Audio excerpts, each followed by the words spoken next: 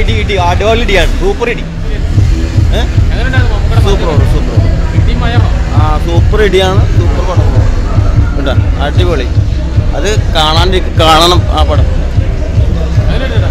Super പടം പ്രായത്തിൽ മമ്മൂക്ക ഇടിയൊക്കെ അടിപൊളി? അടിപൊളി. സൂപ്പർ പടം. സൂപ്പർ പടം. സൂപ്പർ പടം അടിപൊളി പടം. നല്ല രസം നല്ലത്. മമ്മൂട്ടിയുടെ വേറൊരു ലെവലാ എങ്ങനെയുണ്ട് ഇന്ന് ഹൗസ്ഫുള്ളൊക്കെയാണ് ഭയങ്കര? ഹൗസ്ഫുള്ളാ നല്ല ആളാണ്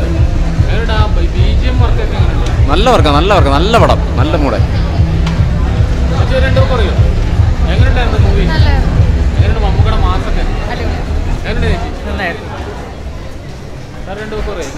അടിപൊളി. സൂപ്പർ. ഇടിയ ഇടിയേ ഉള്ളു. അടിപൊളിയാണ്. ഒരു പഴയ മമ്മൂക്ക ഒരു മോഡലാണോ? ആ പഴയ മമ്മൂക്ക എടുത്ത് വന്നേക്കുന്നത്. ആ അന്ന് ബിഗ് ബിയുടെ അതേ സെയിം സൂപ്പർ സൂപ്പർ. അടിപൊളി അടിപൊളി.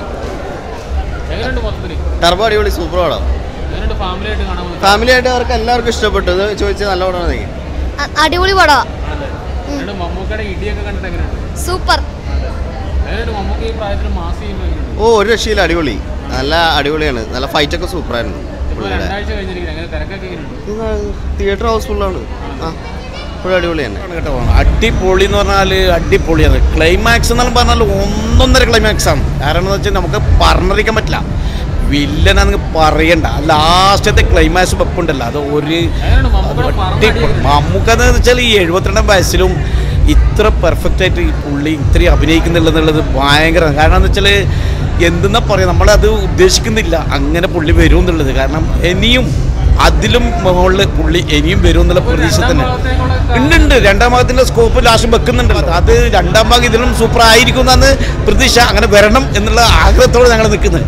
വളരെ നല്ല ടോപ്പായി എന്ന് പറഞ്ഞാൽ ഫസ്റ്റത്തെ ഇത് പോലെയല്ല പക്ഷേ പടം മുന്നോട്ട് മുന്നോട്ട് പോകുന്നതിനോട് നമുക്ക് ആവേശം കൊടുക്കുക നമ്മൾ വല്ലാണ്ട്. ആ ലാസ്റ്റത്തെ സീനൊക്കെ ആക്ഷനൊക്കെ എന്ന് പറഞ്ഞാൽ ഒന്നൊന്നര ആക്ഷനാണ് പുള്ളിയുടെ കേട്ടോ. സൂപ്പറാണ് കിടുക്കൻ കിടുക്കൻ. പതിനൊന്നാം ദിവസം ഭയങ്കര ജനത്തിരക്കാണ് എങ്ങനെയുണ്ട്? പടം അടിപൊളി അടിപൊളി ക്ലാസ് പടം. നല്ല വില്ലനായാലും മമ്മൂട്ടി സൂപ്പർ വില്ലൻ അതിന് അടിപൊളി. രണ്ടുപേരും കട്ടക്ക് കട്ടക്ക്. ഇല്ല ഇത് അങ്ങനെ പറയാനൊന്നുമില്ല ഇത് കിടുക്കം പടം. കിടുക്കം പടം എന്ന് പറഞ്ഞാൽ ആ, വില്ലൻ അതിനകത്ത് അഭിനയിക്കണേ തന്നെ പുള്ളി നല്ല നല്ല പടങ്ങൾ സെലക്ട് ചെയ്ത് അഭിനയിക്കുന്ന ഒരു വില്ലനാണ്. കന്നഡ നടനാണ്. പുള്ളി അത്രയും ഒരു പടം എടുക്കണമെങ്കിൽ തന്നെ അത്രയും നല്ല പടമായിട്ടാണ് എടുത്തത്. മമ്മൂട്ടി പറയേണ്ട കാര്യമില്ലല്ലോ. ലുക്കേ മാറ്റം. കാരണം വരുംതോറും വരുംതോറും മമ്മൂട്ടി ചെറുപ്പമായിക്കൊണ്ടിരിക്കുന്നത് വേറൊരു ലുക്കിലേക്ക് മാറി. ഇപ്പം കഴിഞ്ഞ പടം ഇറങ്ങി അതിനേക്കാളും വേറൊരു വെറൈറ്റിയാണ് ഇപ്പോൾ ഇത്. അപ്പം അതിനൊരു വ്യത്യാസം ഒരുപാട് ഉണ്ടാകുന്നുണ്ട് അത് ഭയങ്കര ഭയങ്കര ഭയങ്കര.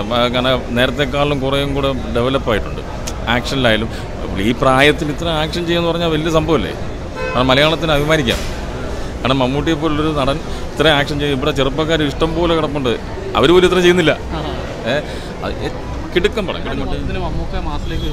നല്ല മാസ് മൂവി വൈശാഖിന്റെ ഇതല്ലേ? കൊള്ളാം. സെക്കൻഡ് പാർട്ടിനുള്ള ഒരു ചാൻസ് ഉണ്ട്. നമുക്ക് ഒരു സെക്കൻഡ് ഇതിന്റെ കൂടി എക്സ്പെക്ടേഷൻ തന്നിട്ടാണ് നിർത്തിയത് ഫുൾ പാക്ഡ് പാടം ഒരു രക്ഷയില്ല. വില്ലൻ എന്ന് പറഞ്ഞാൽ ഒരു ഒന്നൊന്നര വില്ലൻ പിന്നെ മമ്മൂട്ടിയുടെ ആക്ഷൻ ഇത്ര അടുത്തുനിന്ന് ഇതുപോലെ ഒരു ആക്ഷൻ കണ്ടില്ല ഈ എഴുപത്തിരണ്ടാം വയസ്സിലും കാണിച്ചു കൊടുക്കുന്ന ആക്ഷൻ ഉണ്ട്? ഭയങ്കര ആക്ഷൻ ഒന്നും പറയാനില്ല. ഭയങ്കര ഇഷ്ടപ്പെട്ടു പടം.